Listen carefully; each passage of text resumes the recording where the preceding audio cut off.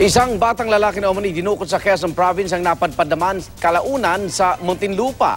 Sa Cebu City naman, positibong kinilala ng babaeng biktima ang isa sa tatlong suspect sa panggagahasa umano sa kanya.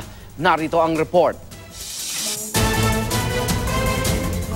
Positibong itinuro ng 21 anyos na biktima si Peter Bendanillo bilang isa umano sa tatlong suspect na gumahasa sa kanya. Taliwas yan sa unang pagtanggi sa GMA Cebu ng 48 anyos na caretaker ng boarding house kung saan umano naganap ang krimen. ang katong caretaker siya siya nag, nagpatong siya sa kuan ingko kuya tabangi ko kuya maluwi ka sa kuya pero iyang hibot iya akong gilabay sa gawas nga mo siya nakalabay iro sa pagtun sa ko iro Bukod sa mga pasa, nagtamo ng matinding takot ang biktima. Nagising na lang siya sa boarding house matapos mawala ng malay ng sikmuraan siya ng isang lalaki sa isang disco bar sa Cebu City. Sa pagsusuri ng medico legal, nakumpirmang may sugat siya sa maselang bahagi ng katawan. Sige na siya kilang.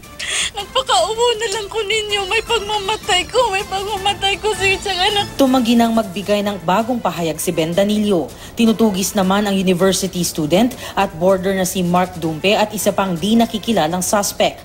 Nahaharap sila sa kasong rape.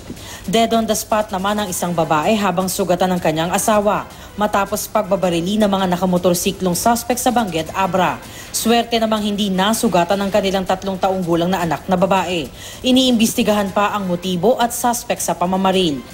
Sa Muntinlupa City Police Headquarters naman, muling nagtagpo ang pamilyang ito matapos umanong dukuti ng kanilang labindalawang taong gulang na anak sa Quezon Province kahapon.